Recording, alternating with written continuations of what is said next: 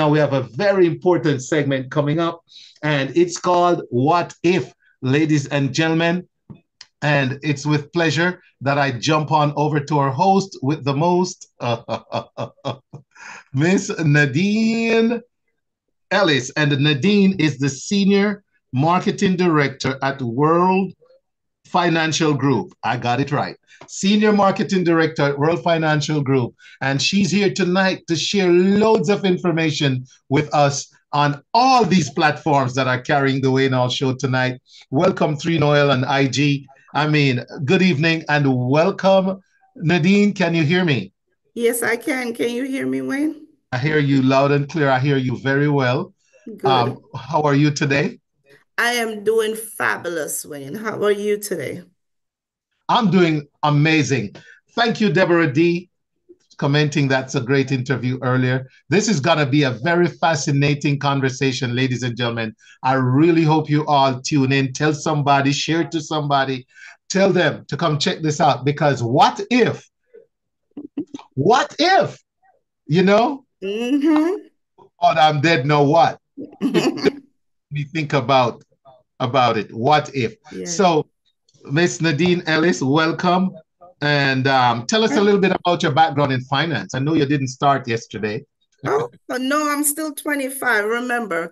So no, I just started. about your age. You start, you were doing this since you were crawling, so we know that. But just give us a but, little you bit. You know, just yes, it's a little bit about myself. Yes. Um 12 years in the financial industry, really loving the industry and the platform I'm in because it's all about education. You know, if you follow my Facebook, I have talk about we're on a campaign to educate 20 million fam 30 million family by 2030 and we can do it by ourselves so I'm excited of what we're doing as a company because we're that's why I'm here with you, right, Wayne, to just talk about this educational platform.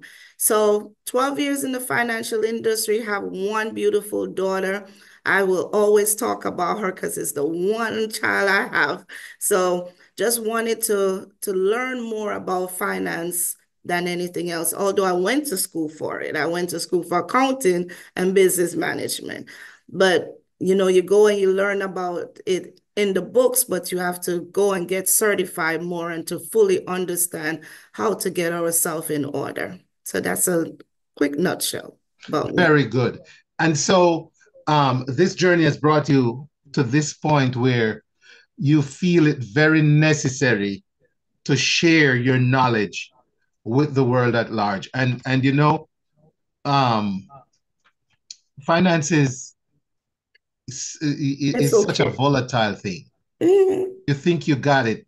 I mean, you all you need is an accident. All you need is an illness, and you see how quickly savings disappear in America and mm-hmm. the world. So, from what perspective do you want to share with us? I'm going to turn it over to you right now. Take it away.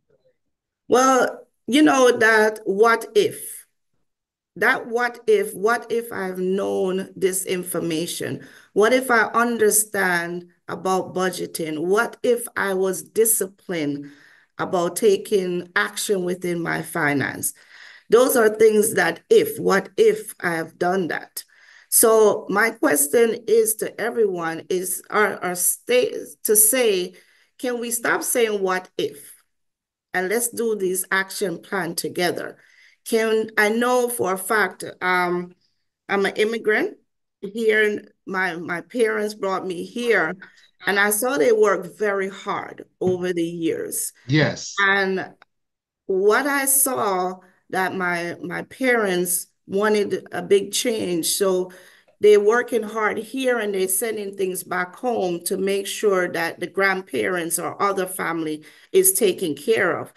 But not taking the time out, even one hour out of their day to sit down with a financial professional or financial consultant, financial advisor, just to sit and see if their roadmap for retirement or just like what you just said, um, Wayne, the uncertain time.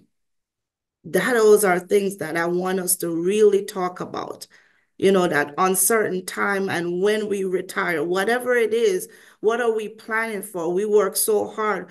Um, we're planning for children college if we have children, right? Like yes. you have one beautiful daughter in college and another one almost there, you know, so you're planning hard for that. But who's going to take care of you? How are you planning for that? So there's a lot of planning that we're we're doing, but can we sit down and take that moment to really look into our finance and our roadmap? That's something that I really want us to really look into. And this month is Life Insurance Awareness Month. Oh, okay. Good to yes. know. Yes. Yes, it's the Life Insurance Awareness Month. And you wrote a wonderful book. I don't know how much of your audience have really purchased your book, Wayne.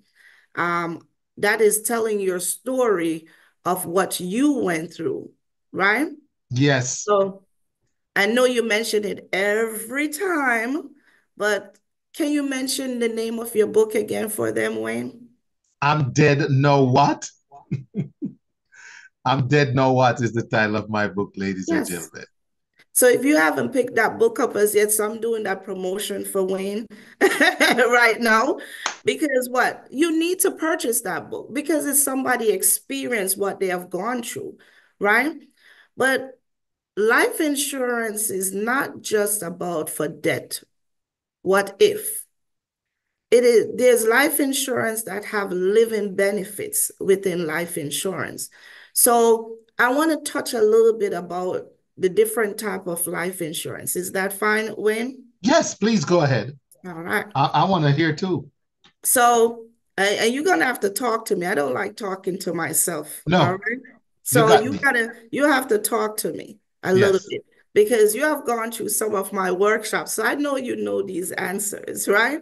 Yes, ma'am. So let's talk about what's term policy. That's the first policy type of insurance that was created, a term policy. What is term policy?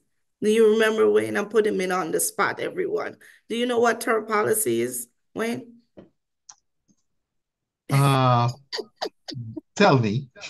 You see, that's the thing is you do know, and most people know, but because you're so busy with your everyday life, you're not focusing on that. And that's not your focus. That's my focus.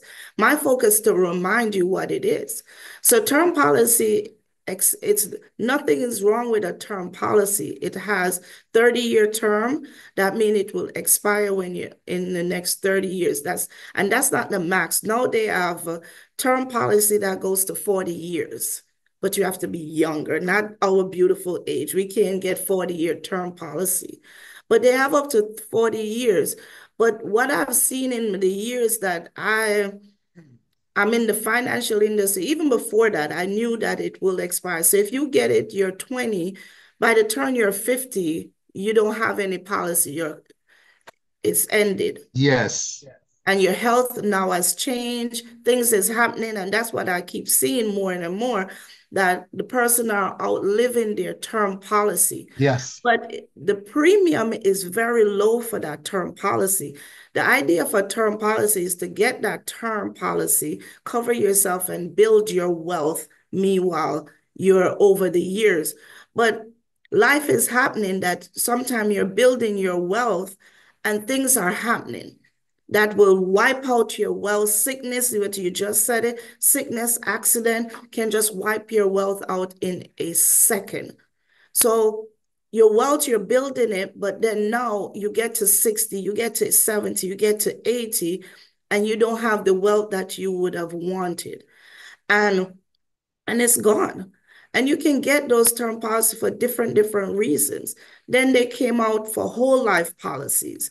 Whole life policy is a permanent policy.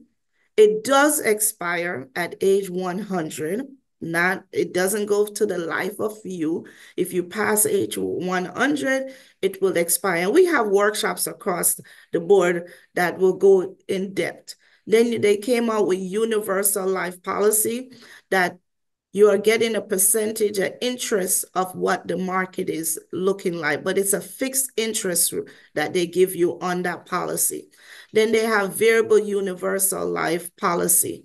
Variable is directly in the market. If the market goes up, you get a you get a high interest on on the gains. If the market crash, you get you lose just like a 401k. That's the best example for what that one I could tell you. But then they have the index universal life policy. That's the hybrid one. That if you if the market goes up, you will get a, a certain amount we call a cap, like say 13%, 10%, 11% on your money. Then if the market crash, you don't lose what you have gained. So you can use a lot of those permanent policies for living benefits, even the temporary one, they do have term with living benefits. So, and of course you have final expense. Those are the 10,000, 20,000, 25,000 small whole life policies that are out there. So we have to be educated and see which one fits you, Wayne. Which one yes. will be the right one for your family? That's where you sit down and ask those questions. So I see you have a question, Wayne. So go ahead. I turn it's, it back to you. It's more of a point. Yes. I know of persons who were young and in great health mm-hmm. and bought term, which lasted right until illness kicked in. Mm-hmm. So they're losing their term insurance. And then they got some medical challenges now that came on over the years. Mm-hmm. That's making it challenging to get into another term or another kind of insurance, like whole life, like you're mentioning.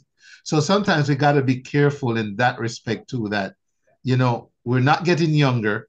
Yes. Things do happen over time. Mm-hmm. And so, you know, we do want to make sure we're making the right decision at the right time because a term policy does look good when you're young and you know yeah. And the premium. Yes the premium is good mm-hmm. but when you have a term policy you can convert it to a permanent policy. There's a conversion policy when certain term policy when you purchase you have to make sure you can convert those term policy to a permanent policy. Excuse me. Because now if your health is declined, your it can now it's it doesn't look at your health, but it does look at your age. So you convert it to a permanent policy like a whole life, universal life, index universal life, any permanent policy. But now if you're 60, 70, what does that permanent policy premium will look like? Right. You're on a fixed income. Yes. And that's where the that little that little thing that you said comes up like, oh, I can't afford it anymore. Um, yes, you can convert it, but the conversion of what you will get it for, you might cannot afford it anymore. So those are things that we have to think about when we're looking at different type of policies and understand them. Yeah. Any Absolutely. other point you want to? Um, no, uh, actually, that right there is is pretty much it. Okay. Um, and one thing that I wanted to share, and many many things, that with with insurance policy, we have to think about how it's affecting not just us. What about our next generation? Like your book, right? Your next generation. It is yes. not. It, it. We have to understand that when that when you get the beneficiary get that money, what can they do with it? And I look at myself that right. I I want millions. When I mean millions of coverage, and the reason why is not just for my daughter. I want to that money that will come into my family will we will design it a way that it is it keeps going to the next generation and the next generation. It's to build wealth in your family. It is one of the number one estate planning vehicle that you can do for yourself and for your family. Like I hear people, Nadine, I'm not leaving nothing for my family. I, I have a house. I, they will get the house. They will get this. But people fail to understand you leave properties to your family. Guess what? They got to pay taxes on there, a lot of estate taxes. And that's why we even see people lose their home when they inherit a home because the, the taxes that they have to pay is too much and they can't afford it. Or you did not pay off that home, Wayne, and you leave it to your daughters and it's not paid off and they came they, the mortgage cannot go into their name what will that happen mm-hmm. now these are things that we have conversation. I have conversation and let people know that it's not for you. Don't say you're going to leave your home you're going to leave this. Think about the taxes and they might not even get their home. I've seen people lost their home that they that they have inherited because they can't pay the estate taxes. So understand that is an estate building for yourself and for your next generation and now the gener your next generation is if they they were a millionaire if you were a millionaire, Wayne, now your next generation is a multimillionaire. Millionaire. You know? So we got to look at those things. Now your next generation is a multimillionaire. You know? I'm hearing so myself. Right, right. Yes. So um a little little stuff going on here. But yeah, um it's always fascinating when I hear um, the, the different ways this can go. What I'd like to hear, though, is for anyone who is tuning in right now, mm-hmm. who, you know, wants to know how they can hear more of this kind of information outside of this setting, just where could they go? Well, um, they could call me. You could visit my website. My Facebook page is my name, Nadine Ellis One. Um, my Instagram is the same. You can find me on Instagram. You can find me on Facebook.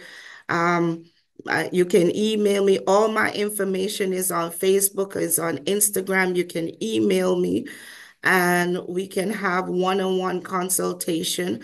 I do not charge for the consultation. We can do in person. We can do on Zoom. We, you know, Zoom, we can Zoom all over, right? And it doesn't matter what state you're in, the conversation is still a broad, broad conversation that I can have no matter where you are. Um, so you can, my number, I know you will share my number in your face on your Facebook, my number and my email. We can always find me on all those platforms that you can you can contact me. Plus, our company do have have workshops five days a week. And it's at 2 p.m., 8 p.m., and 10 p.m. at night because we have different offices in all 50 states, including Puerto Rico and Hawaii and Canada. So we have a lot of information that you can receive that it is complimentary to the from the organization, from the company.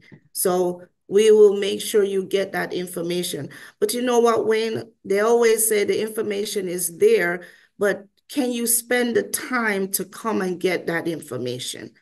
It's not, it's literally 30 minutes, 45 minutes, uh, say an hour tops that you can plug in for yourself and get this information. It's time for us to, you know, we say, what if? What if I know this? What if I did this? What if I do whatever? But we need to take that time out. And I do have a time on weekends that you can plug in and I will share my my email address and my yes. calendar. Repeat your phone number, please. Sorry it's, to interrupt. That, that's okay. That it's 770 yeah. 7770 383 383 2398 2398 okay mm -hmm. and um good so I did, I, I just put that out there. Yep. All right. Yes. I do have a question from a listener. Yes. Why can't life insurance benefit the living and not just for beneficiaries? Oh, good question. Because that's Shout out to Tracy we, and Clark with that question. So Tracy, that's what we were taught that is only for debt benefit only, and it's not most insurance policy have um, long-term care rider, they have terminal illness rider, they have chronic illness rider, um, critical illness rider, that's that you can trigger those riders when you're alive. plus the cash accumulation you can use when you're alive. So it's not just for the debt benefit or beneficiary only, it is there for living benefits that you can pull money, you can take loans out, you can withdraw. And those are things that we could talk about, but they have insurance policy with living benefit, Tracy. That's a very good question. Thanks for asking that question, Tracy. Right. Okay, so um, thank you, Leroy, on it. Um, I'm gonna yes, have to do some engineering afterwards about that, sir. But um, very good information, and I want to let the audience know that you will be on every uh last Thursday, Wednesday. Why do I keep thinking Thursday? you planted Thursday in my head. Mr. Yeah, no, that's all but right. Sorry. what if Wednesdays? Okay, ladies and gentlemen, every last Wednesday, what if? And and really, if you um if you wanna uh dive deeper into stuff, you could come ready with your questions because. Nadine has the background and the resources, and even if it's something that's probably a little out of her league, she can do referrals to the right person, yeah. ladies and gentlemen. This whole segment, when it comes on each month, is to educate us yes. on some of the things that the tools and benefits out there that we can buy into. You know, one of the things, Nadine, that just struck me mm-hmm. entertainers. Yes. Entertainers don't pay into a pension. Ah. Entertainers don't pay into social security a lot because mm-hmm. they get paid in a way where they might file taxes or do something, but they're paid as independent contractors. And so it takes a lot of discipline for an entertainer, which is one of the reasons why I say I don't like when people try to talk down their prices because after they perform on that stage, if they're doing business right. There's a whole lot of stuff they got to go do with that money.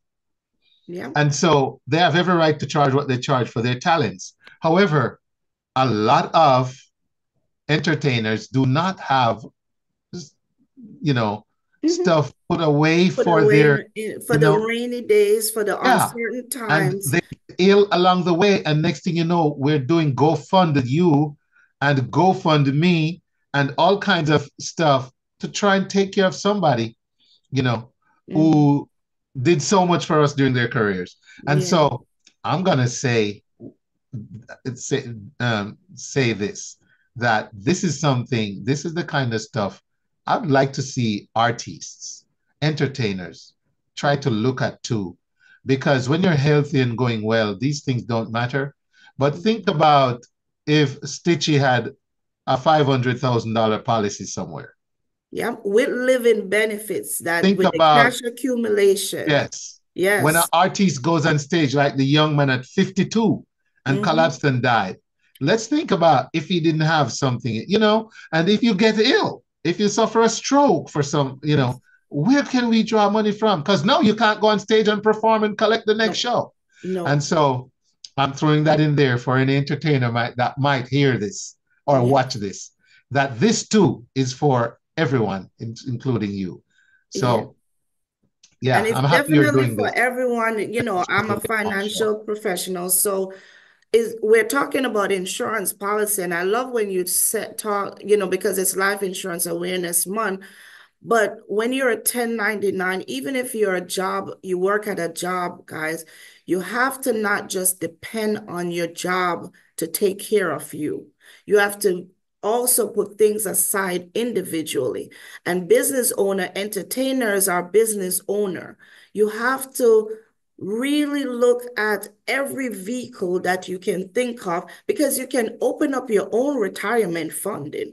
You can do SEP IRA, simple IRA, you can do annuities, you can do Roth IRA, insurance policy. You can create your own portfolio for yourself. And that's where I help people to diversify their portfolio.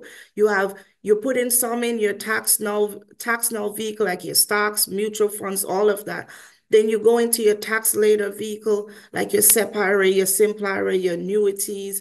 Then you go into your tax advantage vehicle, your Roth IRA, your insurance policy, and you tap in and you get interest in each one of them. By the end of the year, you have already created, you maybe get about 28, 30% if you're going from each vehicle. So you have money for uncertain times, you have money for your retirement, you have everything that you could tap into. And those are things that I really, you know, I have friends that are entertainers, and I'm like, you need to really do these things. So you open up a different different now topic that we're going to go into next next time, Wayne. Awesome, awesome, awesome. Yes. That that's good. That is good to know. All right. Um the the there's so much to this and so many can benefit um Nadine that I'm glad again that you're doing this and I'm glad that the Wayne Hall show can add to its great wealth of information by having you on to share this with us. I thank you, Wayne, for giving me the opportunity. You know, I've been on your show more than once. This is the opportunity to just have this segment.